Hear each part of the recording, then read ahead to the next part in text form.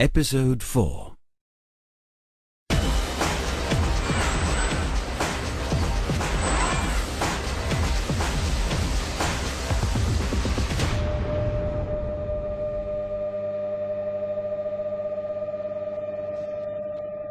In the aerodynamic development of the new C-Class, the focus was on substantiating the sporty appeal of the car, as perceived by the customer, by means of aerodynamic properties which are as neutral as possible in terms of design.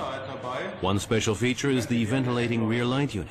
By means of a pressure gradient, air flows from the underfloor to behind the rear light unit and from here out again through slots in the surface of the rear light unit, thereby creating a specific airflow breakaway in the rear end area. This airflow routing replaces a spoiler. I just don't believe that this wind noise is caused by the mirror. Never.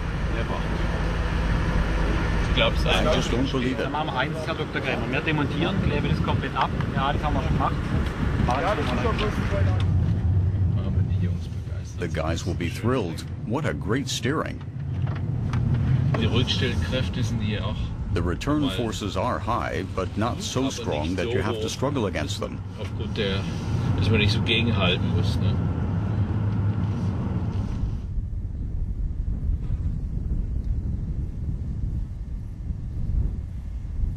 My task is to manage the overall process and the entire team, and to monitor the development of the product from the first idea through to the market launch. eigentlich das Produkt zu gestalten.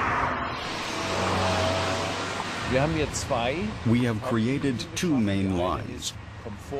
Comfort in combination with dynamic handling is the focus of one line.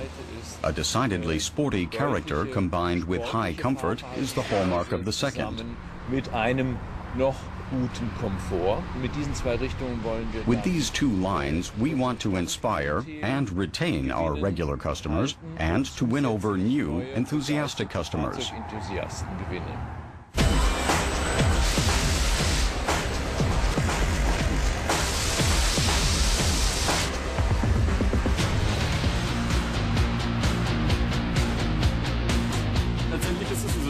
In the final analysis, the system is a damper inside a damper, which we have incorporated at all four wheels. It means that we have accommodated two dampers in one unit.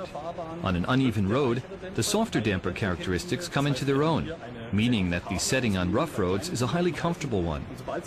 At higher speeds and a sporty driving style, the second damper with the harder damping characteristics is activated too, as to ensure perfect tire-to-road contact.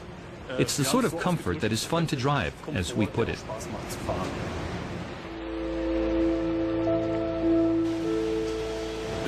We have already covered many thousands of kilometers with this car, and we are highly satisfied with what we have achieved with this new system.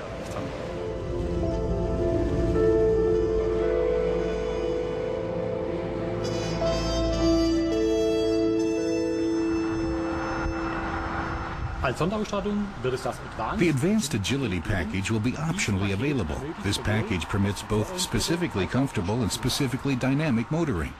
At the heart of this package is the adjustable damping. It's an active system which is complemented by engine and transmission control. In the sports mode, it permits an extremely sporty driving style. This allows us to hold our own in competition. With all-out motoring pleasure in the sports mode and all the typical features of Mercedes comfort in the comfort mode. Either mode can be had at the push of a button in the center console.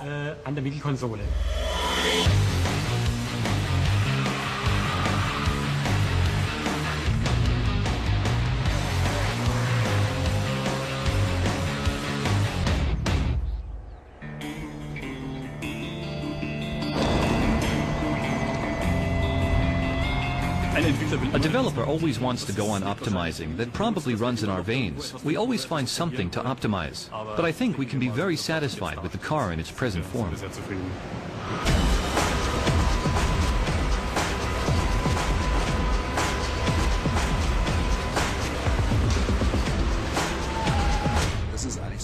This is another fine-tuning round in the final stage when all the production tools are ready and our colleagues would say, that's it, let's tackle the next project. Then we have to bring them together once more and ask them to do it again. This is what a Mercedes is all about, and I think that's the stage we are in right now. We could now start building the car. Anyway, we have to start in January.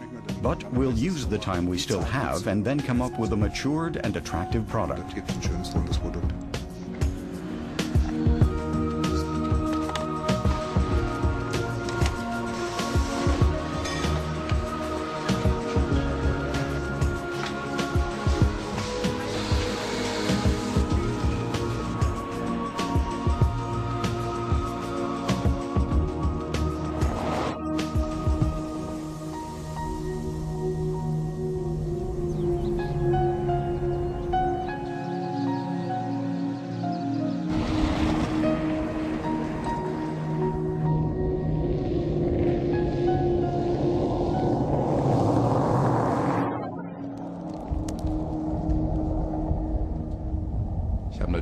I've driven the new C-Class over thousands of kilometers. I really look forward to this new car.